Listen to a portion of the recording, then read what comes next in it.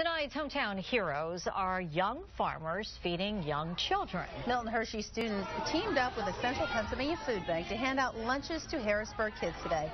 The Milton Hershey students worked the farm, picked the fruit and veggies to fill the healthy bags for the kids to take home. For a Milton Hershey freshman, this hits close to home. Earlier in my life, I lived in a homeless shelter, and my dad was was poor enough to go off food stamps, welfare, and food pantries. So I'm, I'm used to stuff like this. I, I kind of grew up on stuff like this.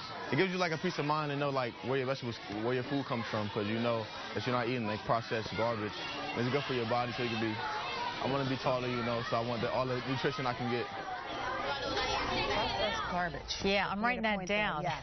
Milton Hershey students donated a thousand pounds of produce this summer. Great job, everyone involved. Nice story.